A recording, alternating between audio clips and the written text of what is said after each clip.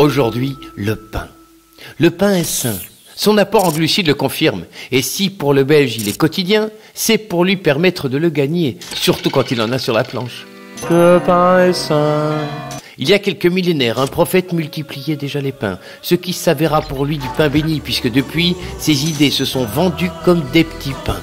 Il y a du pain blanc pour oublier la guerre, noir pour cristalliser sa peine, mais préférez le froment, l'avoine, le seigle, l'orge ou l'épeautre qui se lève sans chimie dans nos régions. Tous les pains créent des liens, même s'il vous faudra les rompre. Et si ces liens vous envoient sur Facebook, c'est qu'ils sont amis. D'ailleurs, le mot copain vient du latin companis, partager le même pain. Et comme le dit le proverbe bétherenois, qui naît dans le pétrin, souvent devient bon comme le pain.